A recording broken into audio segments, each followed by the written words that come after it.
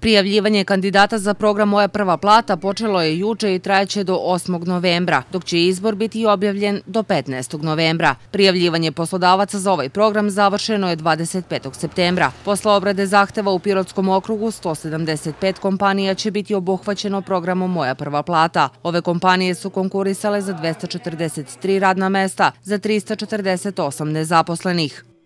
Pirot je dobio znači za 136 kompanija, Dimitro, Dimitrovgrad 12 kompanija, Bela Palanka 18 i Babušnica 9. Tako da nije loša je, mislim, s obzirom da na veliki broj podnetih zahteva, znači jedna radna grupa na nivou direkcije, znači na nivou ministarstava, znači od, vršila je pregled podnetih zahteva od strane poslodavaca, tako da je napravila listu znači odobrenih zahteva i plasirala prema filijalama.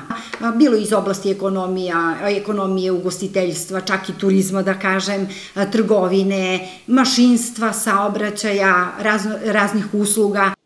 Program traje 9 meseci, a mesečna isplata kandidatima koji budu ispunili uslove 20.000 dinara za one sa srednjom školom i 24.000 za kandidate sa visokim obrazovanjem. Filijala NSZ u Pirotu informisala je 1500 nezaposlenih koji ispunjavaju uslove za učešće u programu Moja prva plata, a zainteresovanih je 1000 u Pirotskom okrugu. Poslodavci će birati lica, odnosno um, selekciju kandidata će vršiti isto u periodu od 8. oktobra do 15. novembra.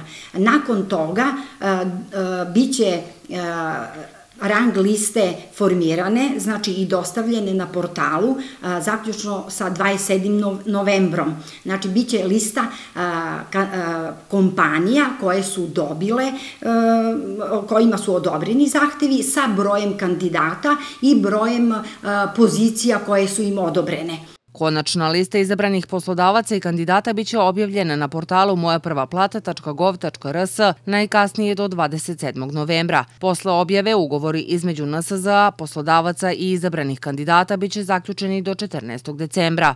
Šansu za zaposlenje dobit će 10.000 mladih do 30 godina na teritoriji naše zemlje.